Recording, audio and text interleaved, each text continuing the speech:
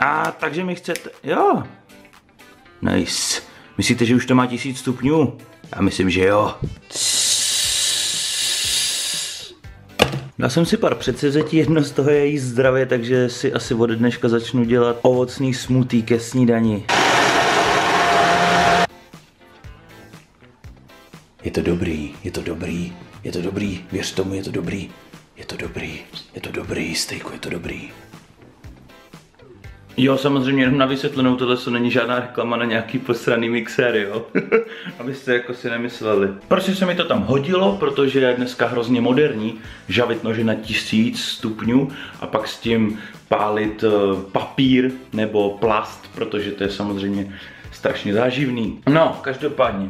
Martě je dneska první den v práci, asi vám nebudu říkat kde, já myslím, že jsem to ani neříkal, každopádně teďka od začátku ledna začala pracovat, takže to je super, takže ze mě se stal starý mládenec, který bude teďka bydlet sám. A když už tady jsme spolu takhle, tak asi mám jakoby další pozdní Vánoce, protože mě přišel další balíček. Já asi teda tuším, co tam je, takže se na to jdeme podívat. Čo, tak to vypadá, že jsem rezatej tím světlem. Každopádně, kdyby se se ptali, jo, je to Top Gear a to je asi všechno, co bych o Top Gearu tady chtěl asi říct. Jenomže možná by bylo fajn o tom natočit 20 faktů, uvidíme. Každopádně, myslím si, že zítra to bude hodně zajímavý 20 faktů a určitě se vám budou líbit. Já jsem ještě něco chtěl říct, ale zapomněl jsem, co jsem chtěl říct. Jo, o tom vánočním stromku. Uh, já to sice natáčím 2. ledna, ale vy si to budete pouštět 7. Což si myslím, já si teďka nepamatuju, kdy jsou tři krále, ale myslím, že už to bylo 5. 6. No to je jedno. A na tu dobu se říká, že se mají vyhazovat stromečky, ale pokud mě dobře znáte, tak víte, že já mám stromeček do poloviny března, do začátku dubna, takže ho v týdenních lozích budete pravděpodobně vidět ještě hodně dlouho. Tak co tu máme, se podíváme. Pokud mě sledujete pravidelně, tak víte, že mám jeden snapback, který má dřevěný kšilt a Tady je pravděpodobně druhý a ten je ale hezký, ale ten je ovšem, tak ten vypadá hodně libově. Vy víte, že jsem na Snabeky ujetej, tak je můžete tady vidět nahoře, je jich tam docela dost. Nejsou tam všechny, ještě mám různě po bytě. Tenhle se poved, krásný červený. A červený tam mám dva, jeden supermaniácký z vyše a druhý je očko. A tenhle má dokonce nastavitelný zadek, že si tam můžu dát na moji obrovskou kebuli přesně tak, jak chci. Ale on akorát tak vyšel. A ještě tady mám jednu věc. O, tak to je cool. To je cool. Já jsem právě asi loni viděl u jednoho našeho kamaráda YouTubeového, není to teda YouTuber, myslím, ale je to Andy od Makiny. To já doufám, že jsou spolu, já to takhle moc ty vztahy nesleduju, ale určitě byli. asi jsou, já vím, že se Makina na týdenní vlogy dívá, takže ahoj, zdravím. A uviděl jsem u něj boty, které byly z korku. A mně se to strašně líbilo, tak jsem si řekl, že by prostě, že si zkusím taky najít něco z korku. A, na, a mám tady peněženku. Takže mám normálně na fe, a počkej, mám tady i zevnitř z korku. Já myslím, že to bude jenom zvenčí potažený a ono to je i zevnitř z korku. To vypadá hodně drsně. Vemte si, že takhle přijdete do nějakého baru nebo prostě kamkoliv a vytáhnete korkovou dřevěnou peněženku. To je cool, to je cool, to se mi hodně líbí. A kdybyste se ptali, tak mě to poslal uh, Woodfy, takže v popisku videa asi na ně hodím odkaz. Je tam vidět, že tam jsou nějaký vlákna pod tím, takže ono to tam bude jen tak jakoby lehká vrstva, takže se asi Myslím, že se asi nemusíte bát, že by se to nějak zničilo. Přemýšlím, jestli si ji nechám, protože já mám peněženku od Marti. Buď to jí dám bráchovi, nebo si ji nechám. Každopádně díky za snebek a za peněženku. Ten snebek se určitě strašně moc hodí. Je čas. Už máme leden. Oh. Takže kdo se nám tu skrývá první měsíc? Ano, tento měsíc mi obývá, která co to kecám. Chodbu bude zdobit píta, pokud se mi to tady podaří nějak vyndat. Jo, podařilo. No, je to prostě paráda. Skvost. Co víc si přát. Jinak jedno z mých novoročních předsevzetí bylo trošku seko zkusit zredukovat váhu. Živio, živio přece jen tak třeba o 10, 15, 20, 20 kilo, no uvidíme, jak se to podaří. Každopádně už mám za sebou, no, říct tomu první trénink je hodně silný slovo, ale mohl bych to říct jako takový předvoj začátek, takže jsem si dal půl hoďky na veslovacím trenažeru, tisíc temp, což si myslím, že jakoby do začátku na moje ochablé, nebo ne ochablé, ale neprocvičené, dlouho neprocvičené tělo, je docela dobrý. Potom jsem si s tím veslovacím trenažerem ještě trochu pohrál na bicáky a na ramena a za chvilku asi půjdu zkusit ještě kliky, nebo zkusit, ne zkusit, prostě udělám nějaký kliky a něco i na břicho. A ohledně jídla, tak taky docela redukuju, takže snad si myslím, že by to mohlo jít rychle. Máme úterý, já jsem právě přinesl nějaký věci, které jsme měli v autě ze Silvestra, protože jsme byli piráti. A o tom bych vám mohl vlastně i něco říct. Jestli se mi to teda... Ne, nepovede se mi to tam přendat jednou rukou, že ne? Ale když si pomůžu nohou... Oh. Dobrý. Možná bych mohl odtáhnout závisy, abych nebyl tak růžový. Právě teďka rendru jedno videjko, za chvilku budu točit další, protože uh, pokud mě sledujete už víc jak rok, tak víte, že před rokem na začátku, ty já jsem bílej, na začátku roku 2016, myslím, že to bylo hnedka, to tady mám 3. ledna, 3. ledna, tak jsem vydal video vzkaz mému budoucímu já a byl to vzkaz pro mě, o rok později, což je teď, takže já se na to za chvilku půjdu podívat. Upřímně to video jsem rok neviděl. Záměrně jsem ho rok neviděl, protože jsem věděl, že jsem ho natočil. Nezapomněl jsem na něj a chci vidět vlastně, co jsem tam říkal, protože už jsem to zapomněl. A vím, že tam byly nějaký gouly na tenhle ten rok, takže příští týden s největší pravděpodobností můžete právě čekat jakoby takovou vzpomínku loňského roku, jak jsem vlastně, co jsem to natočil, co jsem si přál a co se mi splnilo a všechno to tam zhodnotíme, bude to si myslím, že sranda, protože myslím si, že většinu věcí se mi asi nepovedlo udělat, no uvidíme. Teď se jdeme podívat na ty věci, co tady mám z těch pirátů. No, takhle. Koupil jsem šavle, to je asi stále asi 60 nebo 70 korun, jsou úplně plastový. Marta tady pak měla nějakou vestičku, nebo on to je polokorzet, tady měla nějakou košili. Já tady měl takovouhle parádní vestu koženou, takže vůbec se necítím jako teplej motorkář. Tímhle nechci urazit motorkáře, jenom Tohle ta kožená vesta fakt nevypadá úplně mužně, takže možná to je ten důvod. Ale aspoň jsem byl takový teplý pirát. Byly tady další šátky, další šátky, Marta má totiž ráda šátky, další šátky, myslím, že na sobě všechny neměla, určitě na sobě všechny neměla. Jo, tam mám Marta boty, tam mám Marta boty, to byla půjčená košile pro mě, kterou jsem si stejně nevzal. Jo, tady kámo, tohle je dobrý. My jsme doma měli dřív papouška, jako myslím, že byl plišák, jo, samozřejmě plišák, mám hodně plišáků. Já jsem si říkal, ty piráti mají papoušky, že jo, takže si dojdu pro papouška k rodičům a oni řekli, no ale dva dny předtím jsme ho dali dětem nějakým, nebo nějakým, to jsou bratránek a jeho kamarád, když to řeknu takhle, takže dostali nějaký plišáky a zrovna tam byl papoušek a já jsem si říkal, sakra, já chci mít svýho ptáka. Když jsem ten pirát, tak jsem dostal tohle. Není to papoušek, je to pelikán. Takže jsem byl rebelský pirát, co měl místo papouška pelikána a pojmenoval jsem ho Larry. Akorát když se podíváte zblízka, tak on tady má suchý zip a vypadá to jako vagina, takže jsem měl takže Larry je vlastně holka. Tak super, tak jsem to pojmenoval blbě to zvíře.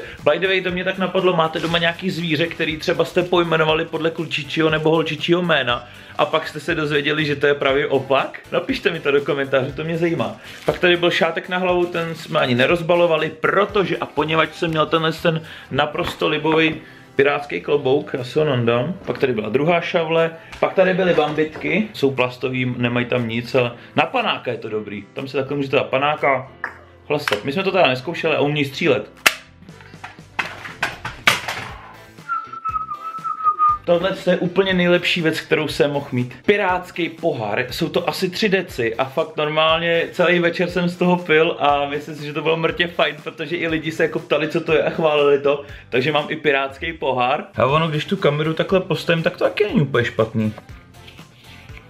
Jak to já tam nevidím, takhle. To je taková nevýhoda, když máte pásku přes oko, tak na to jedno oko nevidíte. Upřímně, pokud mě teďka vidí nějaký sousedi, ano viděj, tak si musí o mě myslet, že jsem totální kretén. Já vám řeknu taky ještě jednu věc. Jelikož je ta páska vypoukla, tak vy to oko máte vlastně otevřený pod tím a furt se dostává nahoru, když mluvím. Takže vy to oko máte otevřený, ale jelikož tam nic není, tak vám to jakoby, já si myslím, že nezavostřuje a prostě nějak rozostření, to oko je nějak připravený, je tam tma, takže vy když to máte třeba 10 minut, tak vás pak to oko začne hrozně bolet a když to sundáte, tak já jsem si to sundal a teď se úplně čumě a říkám, ten obraz je nějaký divný. Zavřel jsem si oko, jedno, teď nevidím zrovna nic a ten obraz byl světlý jak blázen pak jsem zavřel tajto a nechal jsem otevřený tohle a ten obraz byl zase tmavý, takže já to beru jakoby z fotografického hlediska, každý vaše oko má jiný ISO, jiný vnímání barev, protože ta čočka se stáhne nebo roztáhne, že jo. To ale nemá asi nic společného s ISem, no to je jedno. Takže už i podle tohohle z toho jste mohli asi poznat, na co budou zítřejší 20 faktů. Ano, budou to Piráti z Karibiku, takže doufám, že se vám budou líbit, jsou tam fakt zajímavé věci. Jednu věc, jednu věc vám můžu teďka vypíchnout, eh, kterou tam sice budu říkat, ale jenom jeden fakt z těch 20 vám říct můžu, který mě hrozně moc překvapil a to je to. Vemte si, že natáčíte film o pirátech a přepadnou vás skuteční piráti. Ano, celý štáb při natáčení druhého dílu přepadli piráti. Co jim ukradli, to vám říkat nebudu, to všechno se dozvíte uh, v zítřejších 20 faktů, ale je to hodně zajímavý. Fakt je to, je to, je to krutý.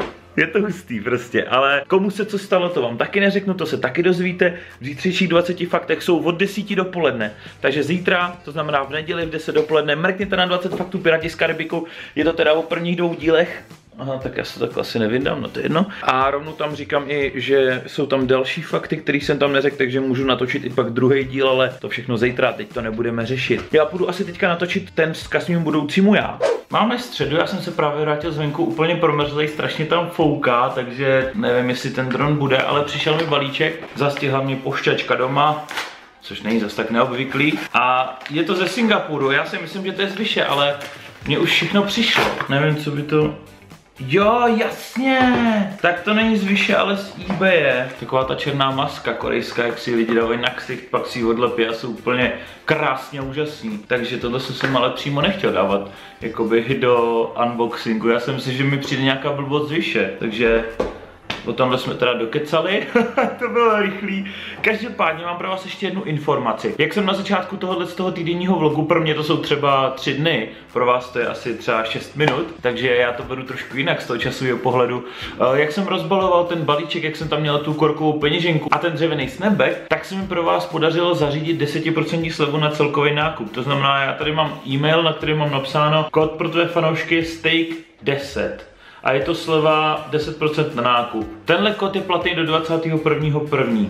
Takže kdyby se si náhodou třeba chtěli objednat něco takového pěkného dřevěného, teďka díky mně máte 10% slevu.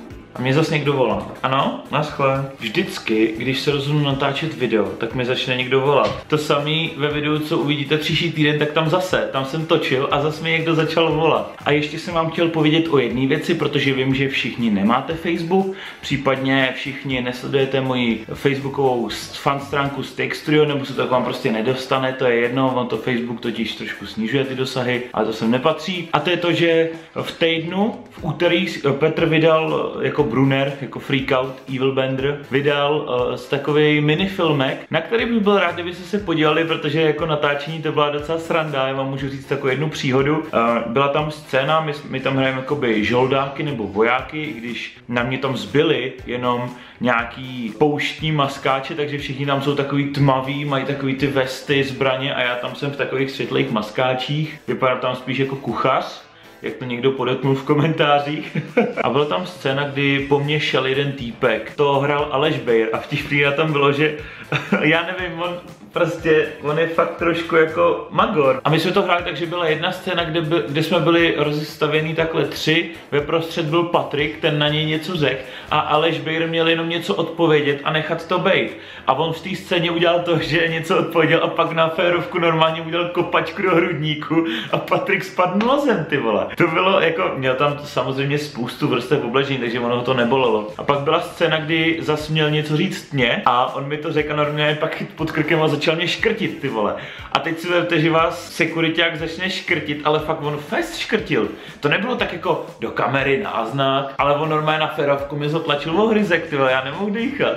Teď se mnou jako švihnul o tu zem a tohle jsme museli točit asi šestkrát. Já si myslím, že Petr, jelikož dělal režiséra, tak se mu to spíš líbilo Uchylákovi, než že to potřeboval, protože stejně určitě použil jenom ten první záběr a zbytek si prostě nechal jen tak na takový to domácí pohoněníčko, jak škrtěj stejka. Takže tohle to bylo taky zajímavý. Takže to je taky v popisku, stejně jako s odkazem na ty snabeky a můžete se na to podívat, to video je fakt super, je kratoučký, takže vám nezabere moc času a doporučuji se na něj mrknout. No a já teďka pojedu na chvíli k našim máte smatrenky. Oh damn. Dost tam, stihl jsem to. S mamkou jsme jeli do nějakého, do čeho jsme to jeli? Bazaru. Do bazaru, ale to byl jako hodně velký bazar. A tátovi jsem tam koupil, jak už jistě víte, pokud sledujete moje videa pravidelně, tak tam má Whistlerovou matku, Whistlerovýho otce, a teď má Whistlerovýho koně, taky je vyšívaný nebo háčkovaný, nebo jak se vlastně tenhle ten obraz dělá, takže nevím kam to sice do obýváku dá, protože to tam má úplně už narvaný těma, s těma kýčema, ale OK. A mamka si koupila tuhle tu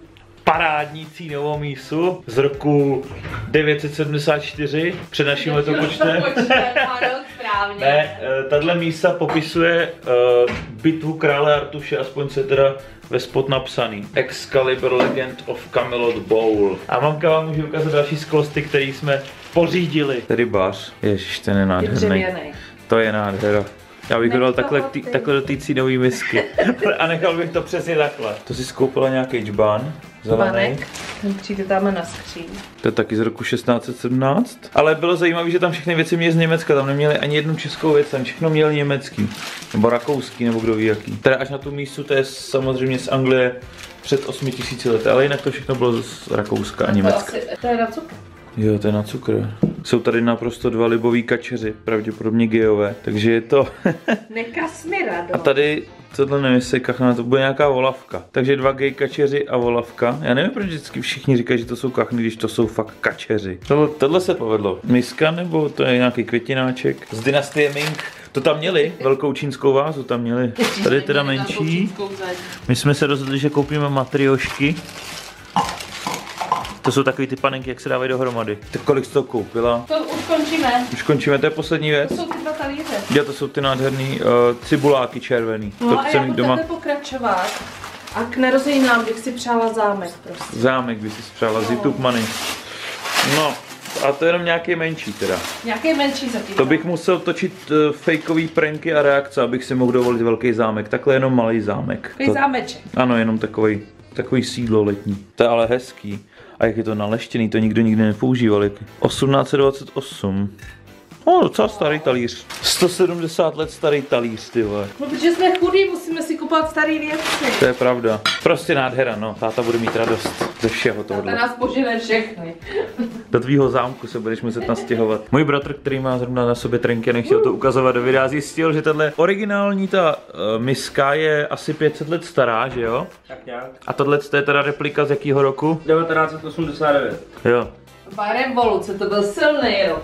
To vidím, taky jsou to silné misky. A 475 euro. Tak to jsme to koupili hodně levně. Přesně. To jsme to koupili asi 4... Koruna. ano, asi, asi 30 krát libra? Ne, to je tahle, to jsou libry, to jsou No, libry. Takže to stojí 470 liber. Tadle ta konkrétní. A my jsme ji měli takhle levně. Oh je, Ty kámo, tak to jdem nakupovat všechny ty věci, co tam byly, protože tam bylo milion věcí a pak je No, můžeme prodat. I, I když je prodáme 20 krát dráž, tak furt to budou mít ty lidi levný. Tak už jsem od rodičů doma a jdeme zkusit tu korejskou masku. By the way, Martia, ona nechce být teďka, Ne. nechce být ve videu. Oh, přesně tam máš jít, miláčku. Jde mě natřít, pojď. Pojď mi roztáhnout pory. Je to takový, jako, smrdí, úplně to smrdí jako Jo. nafta nějaká, úplně ti kdo padla ví, jestli- nafta. kdo ví, jestli to není nafta. Teď to je divný, ty jo. Vypadám jaký takový poloindián.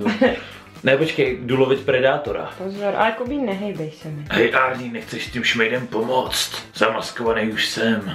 Jenom na sebe hodím trochu listí a vezmu jak, se jmenoval ten jejich samopal? Bezbolestná nebo tak něco. Můžu vám říct jednu věc, je to nepříjemný jak blázen, protože jak to začne usychat, tak mě to začne ah, tahat a já nemůžu ani jakoby dělat mimikou nic, ani se nemůžu usmát pořádně, ani sraštit čelo. No to mi vidět dokonce, když už to drží a pak se to bude odlepovat a prý to hrozně jako docela štípe, tak jsem na to zvědavý. Ale fakt je to nepříjemný pocit, jako kdyby se tam měli lepidlo, no. Jsem pěkná beautyna, beauty blogerka. Hm? Je často sloupnout, ale no trošku to štípe na tom čele, zase tak hrozný to není, akorát si nejsem jistý, jestli mi to teda nějak pomůže. Možná bude lepší, když tu kameru dám takhle, místo bych ji měl na zrcadlu. A, už to cítím, nos, nos trošku. A, je to... Mrnku, tam chvousy, No, nádherný jsem fešák. To je kůže, aha, tak nic, no, tak, tak je to úplně k hovnu tahle ta věc, takže nedoporučuju. V reklamě normálně říkají, že to funguje. To mi neříkej, že prostě v té reklamě mi lžou. Já teda jsem na to žádnou reklamu neviděl, určitě když by na to byla, tak by říkal, že to funguje, ale je to úplně hovnu, no, takže tak. Tak jo, máme čtvrtek odpoledne, Martě se za chvilku vrátí z práce, já jsem zrovna teďka dodělal týdenní vlog, respektive tu část bez téhle části, kdy točím.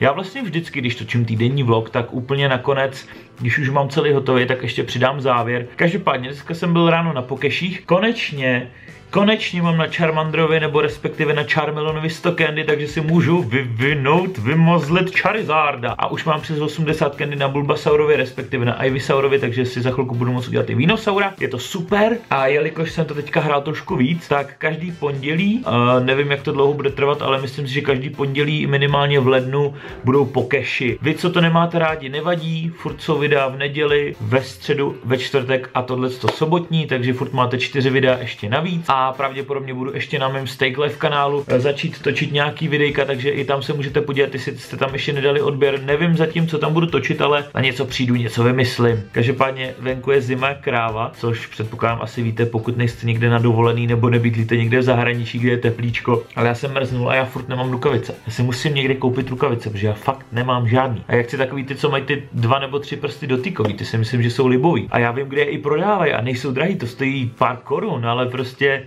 nějak se mi tam nechce dojet. Ale chytí se spoustu pokešů a teda tohle pondělí, příští pondělí a přes příští pondělí se můžete těšit na super videjka od Pokémonu. Tak jo, zatím asi tenhle jsem týdenní vlog ukončím, takže se mějte krásně, koukněte se do popisku a uvidíme se zase příští týden nějakého týdenního vlogu, nebo zítra u Pirátů z Karibiku, nebo v pondělí u těch pokešů, nebo příští týden u té reakce na to předsevzetí, co jsem si dal loni, na to video z Loňska a pak bude určitě nějaký takový ten klasický vlog, jak ho znáte, když jsem točil před dvouma, třema rokama. Au, jsem se praštil. Takže máte se na co těšit. Teď jenom musíme myslet na co natočím dalších 20 faktů, zatím mi to můžete napsat do komentářů a ahoj.